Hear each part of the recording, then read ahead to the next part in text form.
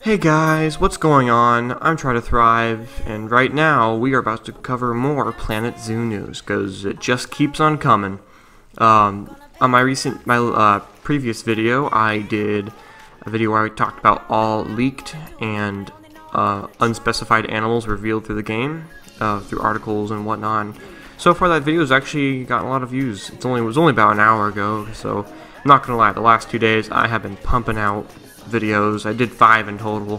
One of them got deleted. Um, pretty sure no one saw that by the time it was deleted, but yeah, I'm I'm exhausted, but I'm happy to keep doing more because right now there is some more Planet Zoo news. Not much, thank gosh. This will be, this will be a very toned down, easier video. Today we got two new screenshots. Well, I think one of them was released yesterday. I don't I I wasn't paying attention and I didn't see it, but now I've seen it. There are two screenshots, both really cool. And uh, yeah, that's what we're here to talk about. Something super easy, but every time it's Planet Zoo news, I'm the guy to keep going for it. I don't take breaks. So, yeah, let's, uh, let's start talking about those new screenshots. Alright, here we are at the uh, E3 gameplay demo, looking at some beautiful black wildebeest and zebras. Though that's not why we're here. We're here to talk about the new screenshots, and uh, I figured we'd start with the uh, least, uh, well yeah, the least exciting of the two.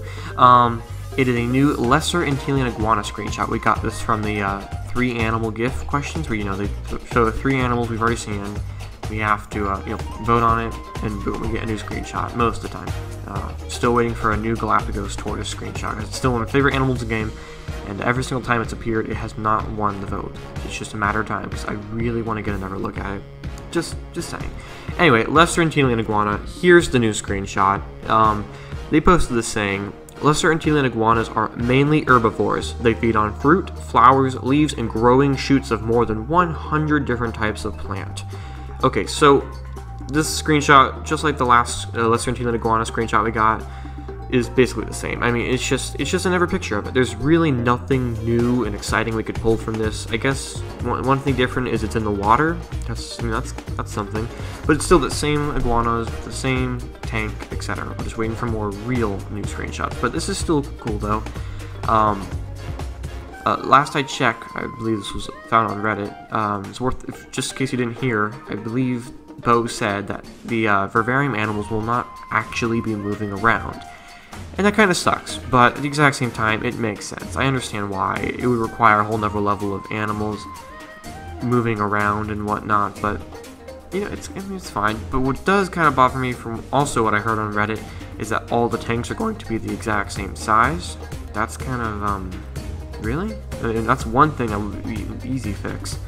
But really? I mean, so we put our Brazilian wandering spiders in the tank that's the exact same size as the iguana? I mean, what would be the purpose? It's just it's weird. But uh, also, luckily, one good thing you can do with these vivariums is move things into it. So if you want to enclose a certain part of the exhibit and place it up in like a vivarium, you could, I mean, or in a, yeah, in a reptile house, you could totally do that. So you can like, like, just imagine you giant rocks and shift it into, shift it around the vivarium until you get a certain section of it uh, open with one animal in it, perfect for the uh, tanks, or sorry, the houses, reptile houses. That's what I imagine we could do, and I think we, I, I think she already said we can. So yeah, other, I kind of jambled on about things that weren't even about the screenshot, but there's just nothing to really pull from it. It's just another Lesser Antillean Iguana screenshot. Still, keep my fingers crossed for uh, other new screenshots. I mean, at least it wasn't like a repeat of a screenshot. I, I can be grateful about that, but um, the only thing you can really pull from this is just the water. But uh, yeah, alright.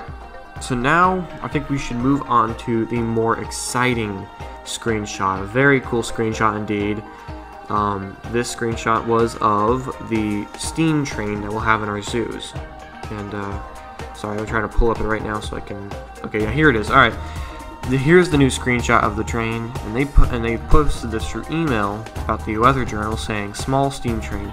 Check out this brand new screenshot of the small steam train. Transport rides are a great way for your guests to get quickly uh, to sorry guests to quickly travel across your zoo whilst enjoying the fantastic view. Okay, it looks really good. This is, a, this is the best and actually one of the first official screenshots we've ever gotten of the train where it actually focused on it. Coincidentally, not too long ago, we got a uh, screenshot of the station itself, like a really good screenshot of it, and now we got our look, a really good look at the train. It looks really good. It looks like a zoo train.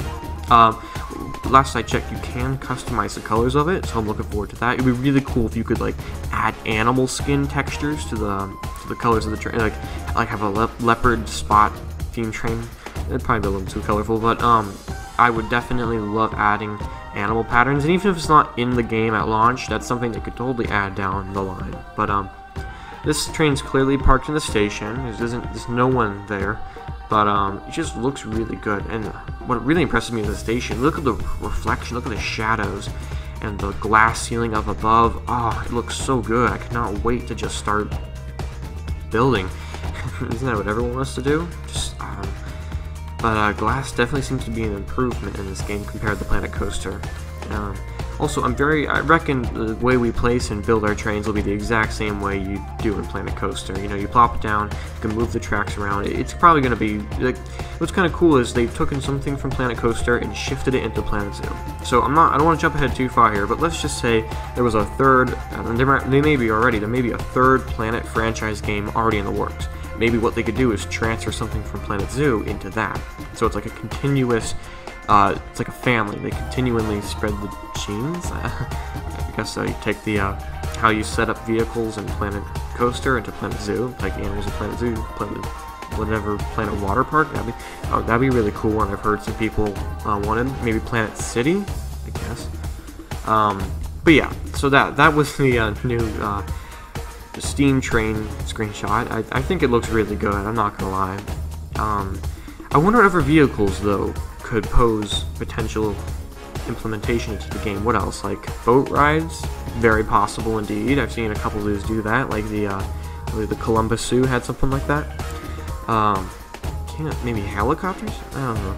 There was that small Jeep, that yellow Jeep we saw in a, a previous screenshot that we thought, maybe we thought that the uh, zookeepers could use to actually get around the zoo. That'd be kind of cool. Um, seen helicopters? Uh, golf carts, like zoo-themed golf carts for your... That, I would prefer that over Jeeps for the zookeeper, just having a small little zookeeper golf carts who just plop themselves right in and zoom around the zoo. It'd be like, and it's all animal themed. It's like a, it's an animal themed colored golf cart. That would be super cool, and I would absolutely love that. But so far, all we know is the safari truck ride, customizable, and the steam train, customizable. I'm sure there's got to be at least one more set of vehicle but uh, other than that, though, that that was the two new screenshots. If you did decide to finish watching this video, thank you so much. Please remember to hit the like button and subscribe. I really, I'm one subscriber away from 40, and it means so much to me. As soon as I reach 40, I will be publishing a video, a very big video that I've been working on. It is a tour, a, a fully edited tour of my local zoo, the Brevard Zoo here in Melbourne, Florida. And uh, I'd love to share it with everyone, but I just got to reach 40 subscribers. I'm just one away from it just one. So uh, yeah, thank you, Evan Natho, thank you so much for watching the video, and have a terrific day.